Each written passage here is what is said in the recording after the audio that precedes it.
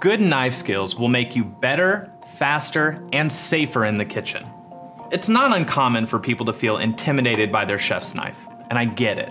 But if you follow these tips, you'll be a pro in no time. I'll show you how to hold and move your knife and how to hold the food. Before we get started, you need to have a good setup. Start with the cutting board right in the center of your counter. I have two bowls here, one for garbage and one for finished foods. I keep a towel and a scraper handy so I can keep my board and my knife clean. If you're right-handed, you'll work from left to right, and if you're left-handed, just flip this setup around. The most important thing to start with is the way you hold your chef's knife. Instead of gripping the handle, pinch the heel.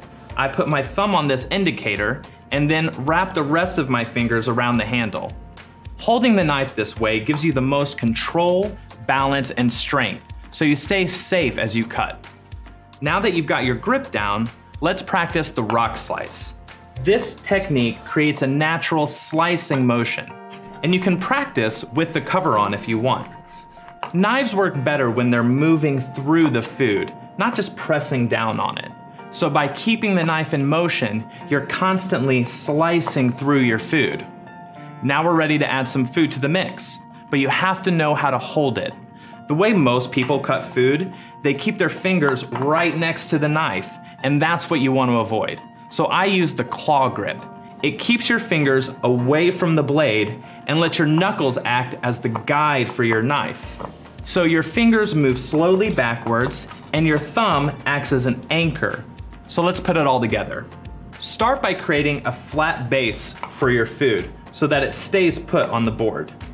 Hold the knife with the pinch grip and hold the food with the claw grip. Now, keeping the knife in constant contact with the board, start slowly rocking your knife in a circular motion. Once you get comfortable, you can speed up and eventually you'll be cutting like a pro. So the next time you're trying to get dinner on the table, take a moment, think about where your fingers are where your knife is, and these tips that'll help you stay safe.